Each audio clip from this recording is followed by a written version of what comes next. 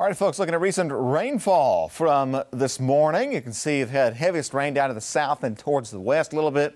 Three quarters of an inch nearly in Bentonville, about two thirds of an inch in Branson. Uh, Monett picked up almost two tenths of an inch, so lighter amounts farther north you got. Officially here in Springfield, just a couple hundredths of an inch. That story was true farther north of I-44 you went.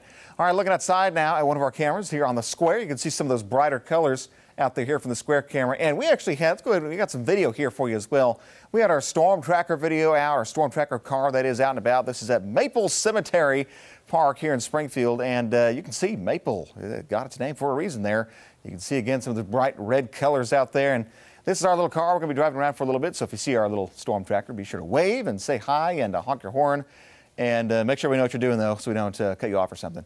And hey, anyway, we'll go back to Max 1. There's a shot of the car. If you see that again, just go ahead and uh, let us know you're watching KOLR 10. Now in Springfield, though, again, still kind of soggy outside, and uh, going to see those rain showers hang on for a little bit longer, but most of the rain is starting to push off towards the east a little bit. So still some light rain showers off to the uh, east of Highway 65. Maybe some sprinkles or some drizzle farther west. And looking at Kansas, start to see some clearing happening out that direction.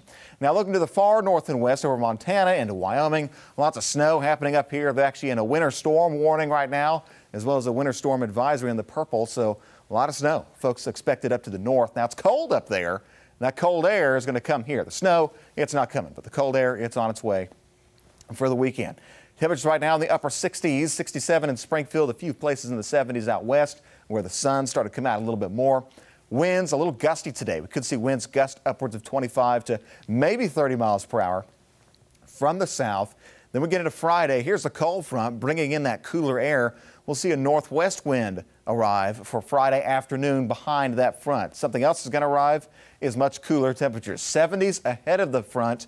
Behind on the backside of the cold front, we'll see temperatures 40s and 50s. Big changes coming away. All right, so for the rest of today, this afternoon, spotty showers, hit or miss kind of situation. Clearing continues. Might actually get more sun than clouds as we go to the afternoon, late afternoon into the evening. Good news there. Dry overnight tonight. More spotty showers ahead of that cold front as it comes in tomorrow midday into the afternoon. Might be some thunderstorm activity, non-severe, but little thunder and lightning certainly possible uh, down to the southeast with that front. It's going to stall out, and this will kind of set up for uh, more moisture coming our way for the weekend. Saturday morning looks dry. Saturday midday and afternoon onward, better chance of rain arrives there into your Sunday. So kind of a wet Saturday and Sunday coming our way. Most of the rain for the weekend down to the south of I-44. Then after that, yeah, here comes the cold air. It's coming in. We'll see those temperatures drop down to the 40s for highs and 20s for lows as we go into the start of next week. So Sunday night, 29 degrees, a killing freeze, 45 for a high Monday and 25 again Monday night. So chilly come Halloween, guys. Thank you, Tom. Yeah, fall is definitely yeah. here. It's like winter. I know, I'm like, whoa there.